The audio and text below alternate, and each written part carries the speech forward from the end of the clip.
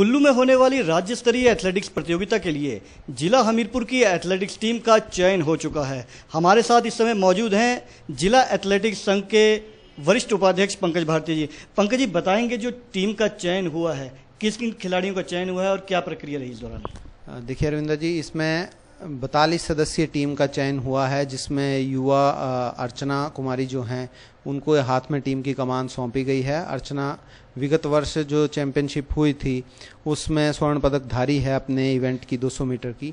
तो उनके हाथ में टीम की कमान हमने दी है। युवा कोच हैं अनिल शर्मा जी और उनके साथ मैनेजर रजनीश जी भी टीम को सपोर्ट कर रहे हैं। तो बयालीस सदस्यीय इस टीम का चयन हुआ है।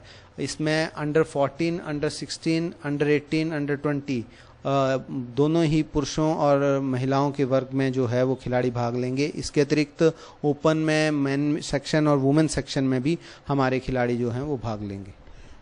विगत कई वर्षों से जो है हिमाचल की टीम में हमीरपुर का दबदबा रहा है एथलेटिक्स में। तो क्या उम्मीदें हैं इस बार हमारे एथलेटिक्स से? देखिए, स्वाभाविक है कि जब कोई टीम चैंपियन होती है तो हर बार उससे और बेहतर करने की उम्मीद की जाती है। अभी हमारे पास अणु के जो कॉलेज सिंथेटिक ट्रैक है, वो उसी वजह से यहाँ पे है क्योंकि यहाँ के खिलाड़ी राष्ट्रीय स्तर पर भी और प्रादेशिक स्तर पर भी बेहतरीन प्रदर्शन करते हैं। वर्तमान में डॉक्टर पवन वर्मा हैं, अनिल जी हैं, रजनीश जी हैं, राजेंद्र जी हैं, जो science department youth services and sports department की तरफ़ से हैं।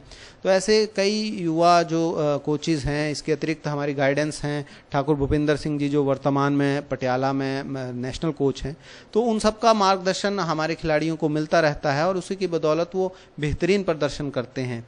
हमें उम्मीद है कि इस बार भी परिणाम बेहतरीन रहेंगे और सभी स्पर्धाओं में हम पदक लाने में कामयाब रहेंगे। पंकज जी, कई बार क्योंकि खिलाड़ियों का सम्मान नहीं हो पाता है तो क्या इस बार एथलेटिक्स संघ कुछ विशेष जो खिलाड़ी जीत के आएँगे, उनके लिए करने वाला है?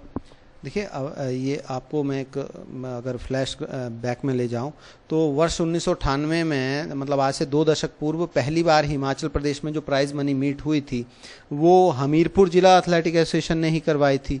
उसके पश्चात भी कई प्रदेश स्तरीय आयोजन यहाँ पे हो गए। वुमेन नेशनल का यहाँ आयोजन हुआ, पुलिस गेम्स हुई हैं, फॉरेस्ट गेम्स हुई हैं। हालाँकि एसोसिएशन के लोगों का उसमें एक्टिव पार्टिसिपेशन नहीं होता है, परंतु ऑर्गेनाइजेशन में हम उसमें उनको कंट्रीब्यूट करते हैं, सहयोग देते हैं उनको। तो हम अपने खिलाड़ियों का पूरा मान सम्मान करने का प्रयास करते हैं। कई हमारे राष्ट्रीय पदकधारी विजेता रहे हैं। पुष्पा ठाकुर जी हैं, संजो ठाकुर जी हैं, फिर दिनेश दिनेश जी हैं। वो हमारे यहाँ पास ऐसे कई खिलाड़ी हैं जो यहाँ हमीरपुर से निकले हैं। तो एथलेटिक एसोसिएशन हर बार ही अभी डॉक्टर पवन वर्मा के नेतृत्व में वो जनरल सेक्रेटरी थे हमीरपुर एथलेटिक एसोसिएशन के, उनके नेतृत्व में खिलाड़ी इस बार जैसे आपने देखा डिस्ट्रिक्ट मीट हुई हमारी डिस्ट्रिक्ट चैंपियनशिप 1200 से अधिक की हमारे पास खिलाड़ी आए हैं। तो कहीं ना कहीं खिलाड़ियों में अपने स्वास्थ्य के प्रति, एथलेटिक्स के प्रति एक क्रेज़ है। अवश्य हम जो खिलाड़ी पदक जीत के आएँगे, उन्हें हम कैश अवार्ड से सम्मानित करेंगे।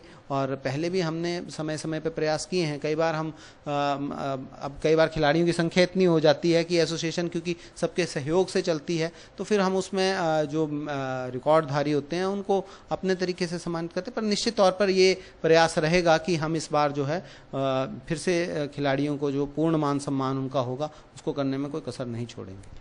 कहीं ना कहीं पदक की उम्मीदें होती हैं।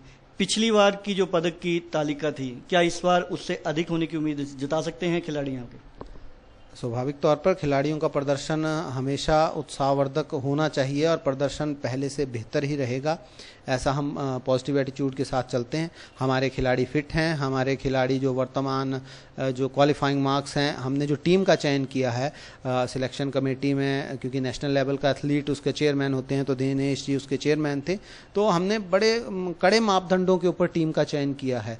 और जो कड़े मापदंड हैं, उनमें हमें उम्मीद है कि हम अधिक से अधिक जो स्वर्ण पदक वहाँ पे जीतने का प्रयास करेंगे हमारे खिलाड़ी और जीत के आएँगे, ऐसी मैं उन सबसे आशा रखता हूँ।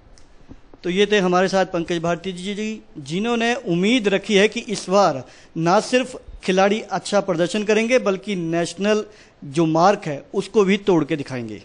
हमीरपुर से अरविंदर सिंह।